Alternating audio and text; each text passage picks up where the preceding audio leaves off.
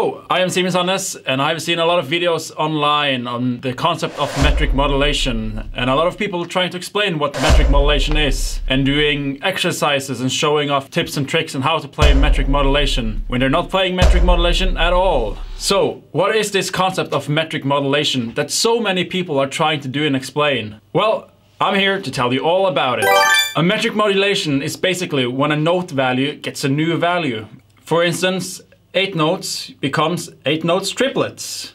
You can call this a tempo change as well, but the new tempo comes from the old tempo's 8 notes values, like so.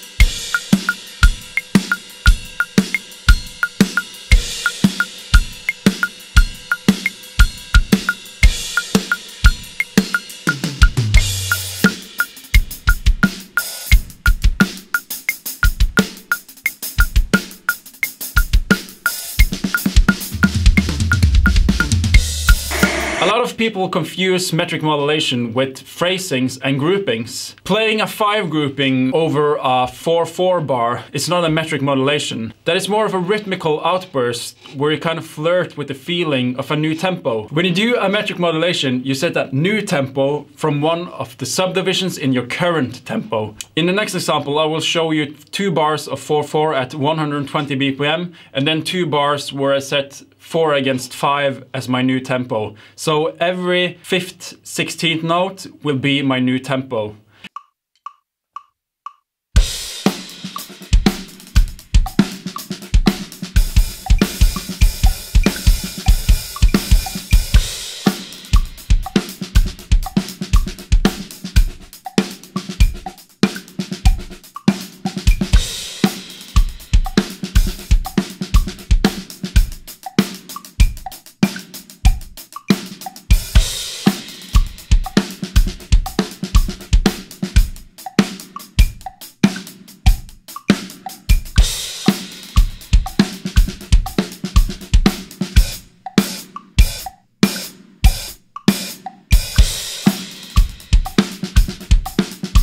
As I explained earlier in the video, this is not a metric modulation in itself, because I don't play the new tempo for a long enough time, and the new tempo doesn't feel like a natural groove. But it's just a few examples to show you what you can do with this.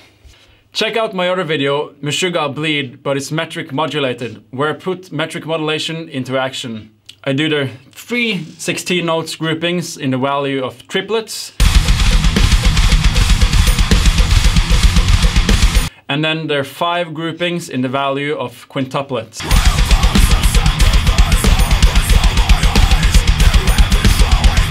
Feel free to ask me a question in the comment section. And remember to like, share and subscribe. Simen Sandnes over and out. Till next time.